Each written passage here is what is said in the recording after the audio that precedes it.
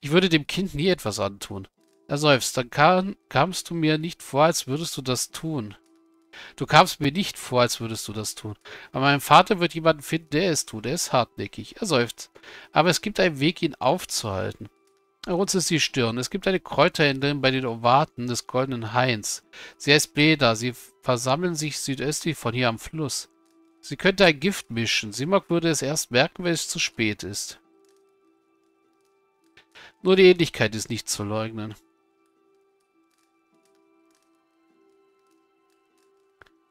Äh, warum geben wir das Kind nicht einfach ihren wahren Eltern zurück? Es ist kompliziert. Ein Kind, das zu einem anderen Stamm geschickt wird, um von ihm großgezogen zu werden, darf nicht zurückkehren. Würden wir erklären, dass wir sie vor meinem Vater schützen, würde das die Sache nur noch schlimmer machen. Für beide Stämme. Lass mich raten, wenn Simok stirbt, bist du der Thronfolger. So ist es nicht. Rio hat mir... Die Rio haben mir... Die Rio haben bereits bestimmt, dass meine Seele nicht stark genug ist. Wer auch immer meinem Vater folgen wird, ich bin es nicht. Ich soll deinen Vater ermorden? Nein, aber es ist besser, als ihm zu erlauben, dieses Kind zu ermorden. Es gibt einen einfachen Weg, Simuk zu töten, weißt du? Seine Krieger hätten dich sofort umzingelt. Außerdem ist es am einfachsten, wenn es leise geschieht. Ich muss darüber nachdenken. Er blickt grimmig drein. Hoffentlich musst du nicht zu lange darüber nachdenken. Mit einem weiteren Blick in Richtung Simoks Kammer geht er Richtung Tür. Ich warte dich, Estrabok. Komm Vela nicht zu nahe. In einer Hinsicht bin ich der Sohn meines Vaters. Blutopfer. Simok, der Avafat der drei Stoßzahlstegier, führt seinen Stamm seit fast 200 Jahren an, hat jedoch keinen Nachfahren hervorgebracht, dessen Seele würdig wäre, sein Nachfolger zu werden. Simok hat mir seine Sorgen mitgeteilt, dass sein Stamm der glafantalischen Grenzen verteidigt schwach werden könnte, wenn er keinen aggressiven Anführer besitzt. Allerdings hat er mir offenbart, dass er einen Weg gefunden hat, sein nächstes Kind mit einem stärkeren Seele zu versehen. Anamfat Simok hat eine Tochter des Anamfats der Fischerkranich als Tierkind aufgenommen. Er hat mich gebeten, sie zur Hüterin Wirta von Etik Noll zu bringen, für ein Ritual, das ihm ermöglicht, ihre Essenz zu verzehren. Das Kind befindet sich in einem Haus am Fluss. Simok hat dafür gesorgt, dass es unbeaufsichtigt ist. Simok hat zugegeben, dass das Kind für das Ritual geopfert werden muss. Simoks Sohn Liras hat mich zu, einem Pla zu dem Plan seines Vaters zur Rede gestellt. Er hat mich gebeten, stattdessen Simok zu vergiften. Ich kann vom Bled ein passendes Gift beschaffen. Einer der Warten des Goldenen Hains. Hm.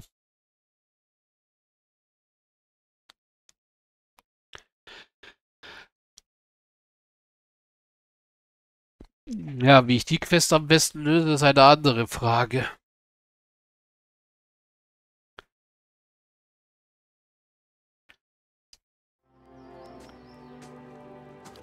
Ähm, wie sieht es bei mir so aus? Leidenschaftlich und wohltätig 3, was gut ist.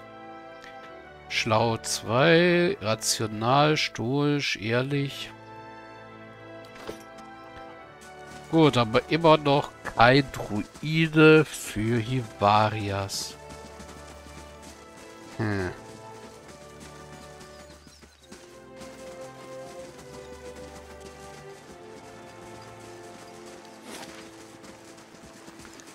Ich glaube auch nicht, dass ich im blutigen Sand einen Druiden für Hivarias finde.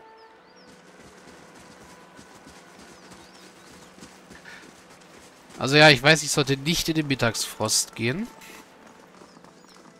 Ich sollte eigentlich auch nicht in Galloway ins Schlund gehen.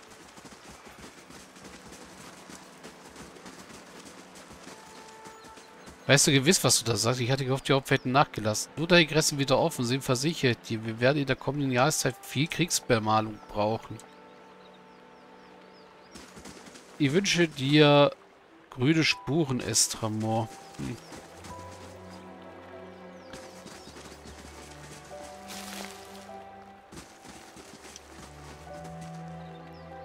Es gibt keine größere Ehre, als für seinen Stamm zu sterben. Wenn manche in der Schlacht fallen, wir unterscheiden... Ja. Gehen wir doch mal hier rein. Ich glaube, hier können wir uns auch frei bewegen.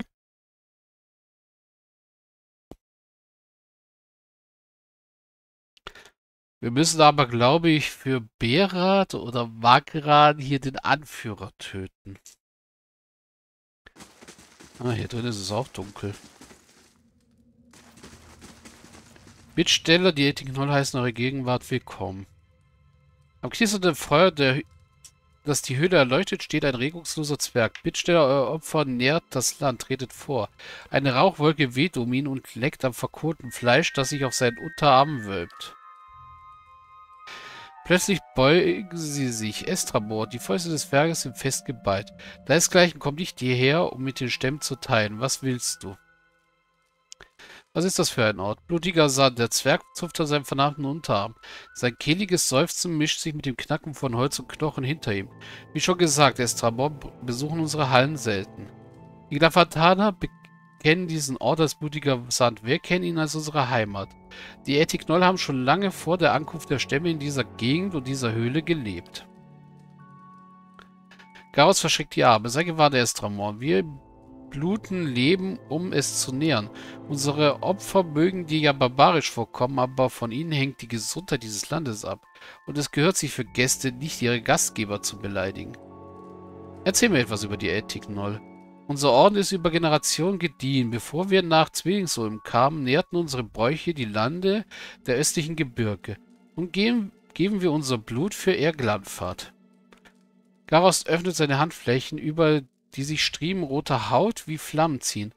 Allem Endlichen bringen unsere Opfer einen neuen Beginn. Er schaut hoch. Wir unterstützen das Kommende. Erzähl mir über die Opfer. Gauss spreizt seine stämmigen Beine und verschreckt die Unterarme. Estrabor, alles muss sterben, um neu zurückzukehren. Über die Opfergebräuche geben wir Bittstern die Ehre, ihren Brüdern ihrem Land ihr kostbares Geschenk zurückzugeben. Der Zwerg hebt seine Faust, die vor roten Narben geschwollen gefleckt ist. Das Blut gibt uns Kraft, selbst die Lavantaner hängen mittlerweile von der Blutfarbe ab. Dank der Opfer ihresgleichen strotzt sie vor der Schlacht nur so vor Kraft. Auf Wiedersehen.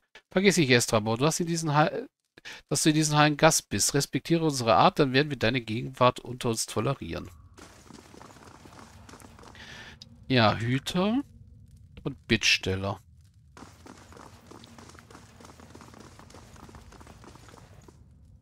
Mit Gewalt entrissene Essenzbagger ein Kraft schenken. Freiwillig überlassene Essenz aber stärkt viele. Also wer sich freiwillig opfert, der ist besser dran. Hüterin. Nacker. Was bist du denn für einer? Die Bittstellerin, die vor dir zu in zu großen Roben die Bittstellerin vor dir ist in zu große Roben gehüllt. Ihre Haare sind fettig und schmutzig. Eine glänzende Schicht aus Schweiß und Dreck bedeckt ihre Haut. Sie trägt die aufgesch aufgequollenen Züge einer Schwangeren und in einem großen, grinsenden Lächeln fehlen mehrere Zähne. Als du dich näherst, dreht sie sich langsam um und mustert dich von Kopf bis Fuß, wobei sie die ganze Zeit lächelt. Einen freudigen Tag wünsche ich, sagt sie, obwohl sie aus einem erschöpften Körper kommt, klingt ihre Stimme kräftig und entspannt. Ich bin Naka, Hebamme und Sagenhüterin. Als ihre Augen auf Hirarias fallen, schlägt sie aufgeregt die Hände vor dem Mund zusammen. Und auch dir einen freudigen Tag, vielfarbiger Jäger. Du bist hier, um ein Bittgesuch zu stellen oder um Stärke zu erlangen. Hirarias ist sprachlos. Wieso siehst du mein... Durch den Geruch, antwortet sie angezwinkert. Der Helpstagier ist in deinen Adern. Gedawayne hat dir so viel geschenkt und doch trägst du ein Auge Wales. Er hat mir nichts geschenkt als Ächtung, ruft Hivarias. Seine Stimme hallt durch die Große Höhle und Blut schießt ihm ins Gesicht. Ich hätte meinem Stamm nützlich sein können, wenn meine Ge Geistergestalt ein einfacher Fuchs oder Kranich gewesen wäre. Ob mächtig oder nicht, mein Stamm verabscheut den Herbstdagier. Für sie bin ich ein seelenverschlingendes Monster. Sprich nicht mit mir, als wäre ich ein Geschenk oder eine Gabe. Lass sie fortfahren. Verz Verzeih das Gemüt meines Freundes, bitte, wir möchten alles wissen, was du uns sagen kannst. Ivarias, ist das die Frau, die dich belästigt? Müssen wir ihr wehtun? Nein. Sag uns, was du über den Helps der Gier weißt. Verzeih das Gemüt meines Freundes. Galloway würde dich nicht mit einem zweiten Ich beschenken, das du nicht wirklich brauchst. Wenn der Helps der Gier sich wie eine Krankheit einfühlt, betrachtest du es vielleicht von der falschen Seite. Galloway gibt dir die Werkzeuge an die Hand, die du zum Jagen brauchst. Er hat keinen Grund, seine Jäger unnötig zu belasten. Ich weiß immer noch nicht, was. Ivarias zuckt mit den Schuchseln, äh, Schultern und kratzt sich am Kopf, wobei mehrere Milben und Mücken herabfallen. Muss ich irgendetwas tun, um mich von dieser Geistergestalt zu heilen? Heilen? Naka blickt Hivarias verwundert an und, ist, und murmelt einige Halbworte. Mein liebes Kind, der Helpsteger ist die Heilung. Galloway hat dich mit dieser Gestalt gesegnet, damit du in Wiedervereinigung leben kannst. Sie breitet ihre Arme in einer ausladenden Geste aus, schreitet durch blutiger Sand und liest die Texte, die wir in Stein bewahrt haben. Sie werden dir sagen, was du wissen musst. Was meinst du damit, in Wiedervereinigung zu leben? Ihre Hände glätten über ihrem schwangeren Bauch, als sie dich mit leeren Augen anblickt. Du riechst Hivarias einen kurzen Augenblick, bevor du seine Hand spürst. Ich glaube nicht, dass sie uns noch weiter helfen kann. Lesen wir die Schriften, wie sie vorgeschlagen hat. Was sind das für Texte? Der Text an den Wänden. Ihre Gedanken, ihre Gedanken kommt zu einem jenen Ende, als sie mit einem zufriedenen Seufzen ihre Hände über ihre Schultern gleiten lässt. Nach einem langen Augenblick scheint sie sich wieder an eurem Gespräch zu erinnern. Das sind Meditationen zur Natur und zu Verlust, zu Stärke und zu Opfergaben. Dein Freund wird sie verstehen. Irgendwie bezweifle ich das, murmelt Hivarias hinter dir. Dann leb wohl. Ja, wir haben was für Hivarias. Wir haben mit Naka gesprochen, Mystikerin blutenden Sand. Sie war zwar nicht vollständig bei klarem Verstand, doch sie schien auf übernatürliche Weise von Hivarias Geistergestalt zu wissen. Sie wusste zwar nur wenig über Hivarias Zustand, doch sie sagte, die Steintafel blutiger Sand würde Dinge erhalten, die Hivarias erhellend finden würde. Mhm. Dann lesen wir Texte.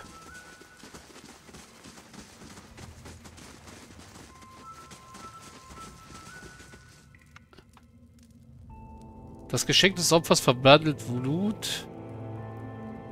Wie Fleisch vom vielen nährt sich das freiwillig erbrachte Opfer alle, die zu uns kommen. Mhm. Das Opferblut wässert den Boden von... split into multitudes, many lives come from one. The truest of power comes from sacrificing the shard to return its strength to the mother stone. Da sich Seelen in viele Teile auftrennen, ließ Hivarias die glafatayischen Runen mit dramatischer Begeisterung von der Tafel ab, qualmen viele Leben aus einem. Die wahrhaftige Macht stammt aus den Opferungen des Seelensplitters, um dem Mutterstein seine Stärke zurückzugeben. Hm. The many lives from one sounds familiar. I was taught that sometimes between death and rebirth, a soul splits perfectly in two, creating two viable souls from one. Sounds strange, but it makes sense when you think about how the population has risen in generations. It's kind of a mathematical necessity that some process like this is happening. Hm, der Teil mit kommen viele Leben aus einem kommt mir bekannt vor. Man brachte mir bei, dass sich eine Seele zwischen Tod und Wiedergeburt manchmal makellos in zwei Teile spaltet, sodass zwei vollwertige Seelen aus einer entstehen. Es klingt seltsam, aber es ist einleuchtend, wenn man bedenkt, wie die Bevölkerung über die Generation hinweg angewachsen ist. Es ist eine mathematische Notwendigkeit, dass ein solcher Prozess vor sich geht. Äh, vielleicht, hat der vielleicht spielt der Herbststäger in diesem Stehenkreislauf eine wichtige Rolle. Entschuldigung, mein Herr, ich fresse Ihre Seele gar nicht. Ich spiele nur eine unverzichtbare Rolle im natürlichen Kreislauf. Die Varias verdreht die Augen. Ich verstehe schon, auf was sie hinaus will, aber dadurch fühle ich mich auch nicht besser. Die Pilze, die auf Scheiße wachsen, haben auch eine wichtige Rolle im natürlichen Kreislauf inne. Aber deshalb möchte ich mich noch lange nicht in die Kackblüte verwandeln. In eine Kackblüte, okay. Ich kann einfach nicht die Angst ablegen, dass ich der Splitter bin und dass es bei der Bestimmung ist, in etwas Größeres hineingespeist zu werden. Hivarias starte ich mit aufgerissenen Augen mehrere Augenblicke lang an. Mir Sorgen zu machen, wird mich wohl auch nicht weiterbringen. Lass uns die anderen Tafeln lesen. Mhm. Hier ist keine Tafel, hier sind nur Schlafräume. Die schlafen auf Steinen. Okay. Hallo Hüter. Bittsteller und Hüter. Keine Tafel hier. Nur eine Feuergrube. Diese vom Becken aufsteigende Hitze droht dir dein Gesicht zu versengen. Mhm. Nächste Tafel. Essenz im Inneren zum Nähren des Fleisches. The Anumfoth must stand before the autumnal beast in judgment. The wise endure, passing on their strength. The weak are eaten, their souls ripped to pieces and lost for all time, removing such weakness from the cycle. Ivarias liest den grammatikischen Text vor. Jede Generation von Amanfat muss sich zur Beurteilung dem Herbstbiest stellen. Ivarias hustet unbehaglich und fährt fort. Die Weisen überstehen es und geben ihre Stärke weiter. Die Schwachen werden gefressen, ihre Seelen werden in Stücke gerissen und gehen für immer verloren. Und die Stärken und stärken den Zirkel durch die Ausmerzung solcher Schwäche. Well, I guess maybe my tribe wasn't entirely wrong about my spirit form being some sort of soul terror. I suppose I was hoping to hear a different answer on the matter, but...